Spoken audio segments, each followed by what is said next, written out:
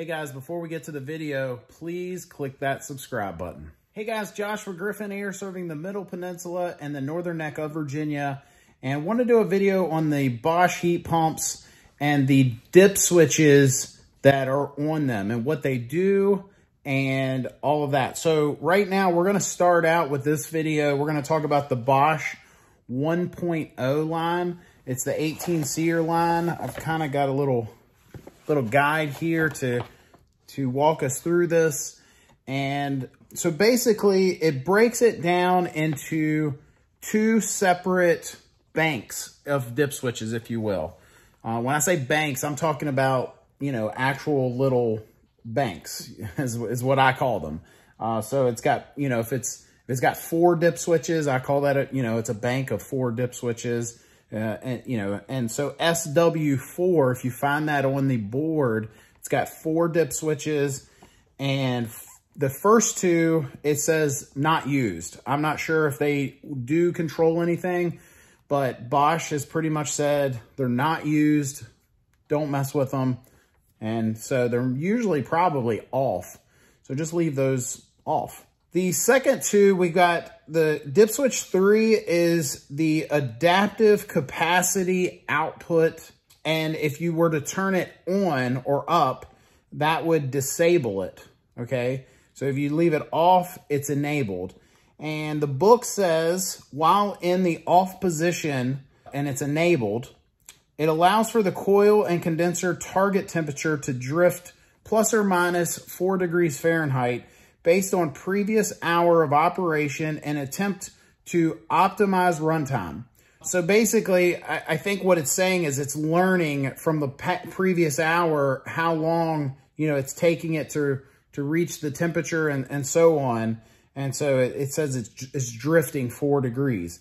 And it says reason to disable in zoning applications, but only as needed as a result of customer expectations and or performance. So they're saying that really the only time you want to turn this dip switch up on or to or to disable the adaptive capacity output is, you know, if, if you have a zoning system, you have multiple zones, you have dampers that open and close and thermostats in different locations, you know, a fully zoning system, then you might turn this off if you're having issues. The four, the, the, the next dip switch is dip switch four.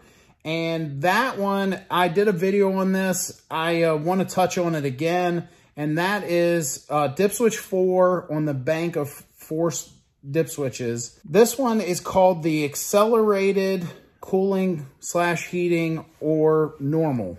And, you know, don't tell Bosch this, but I will tell you that we at Griffin Air, because of our climate, because of some of the issues that we have in our region, we turn this switch on more times than we leave it off. It's a, it's a more accelerated, more aggressive way of cooling, but you know, it's it helps with humidity and things like that. So the book says reduces target coil temperature and cooling to 37 degrees Fahrenheit. I think in normal operation, it's 42. So it's dropping that down to 37 and it increases the target coil temperature and heating to 114 degrees Fahrenheit.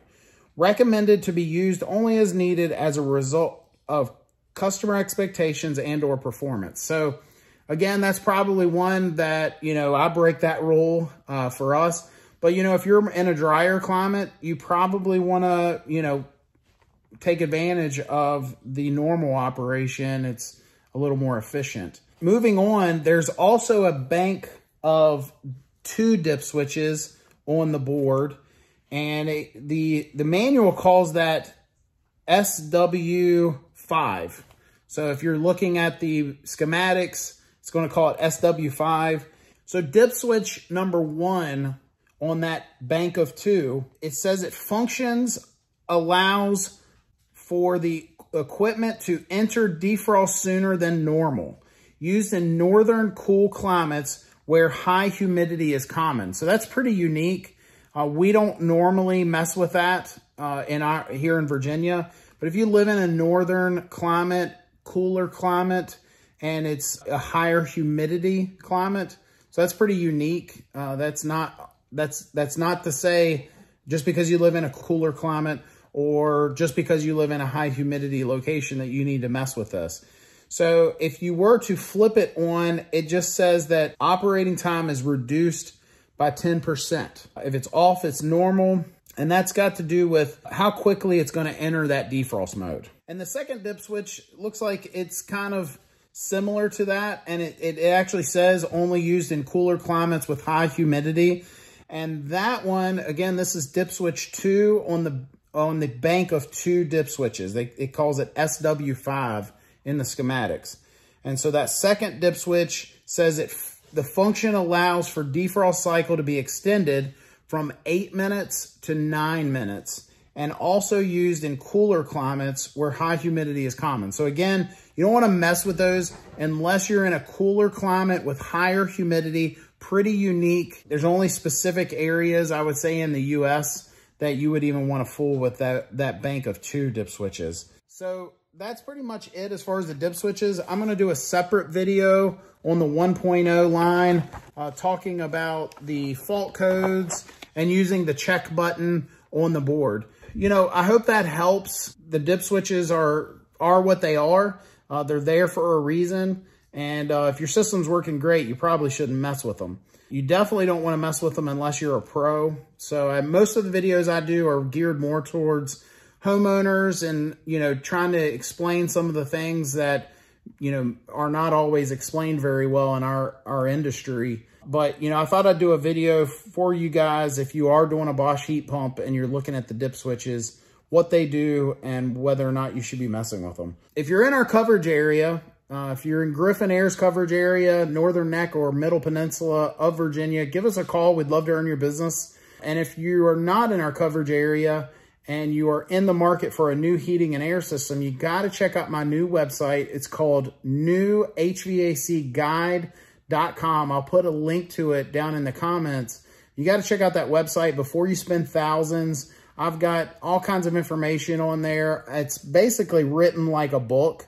And you know, I've got a page on there even called no-nos, just things to stay away from.